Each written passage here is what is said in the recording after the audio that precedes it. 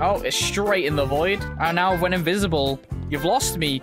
You've lost me, boy. You lost me, boy. Bro, this kid's just too good. Wait for him to forge and then sneak attack him. You get like an extra like two hits. You Tanqr? If he goes in the generator, I could just take the loot. Just go around and place blocks everywhere, okay? Yeah, now we can slowly go to his generator and then just yoink all of his loot. bro, you ain't buying no armor. Bro, I'm just, I'm stealing all of the loot, bro. He literally, he can't even afford to buy armor. He's right in front of me. Go on. Surprise! Don't think I'm gonna let you take those. the juicy ores have even spawned in. He's been in the match for eight minutes and he hasn't even got armor yet.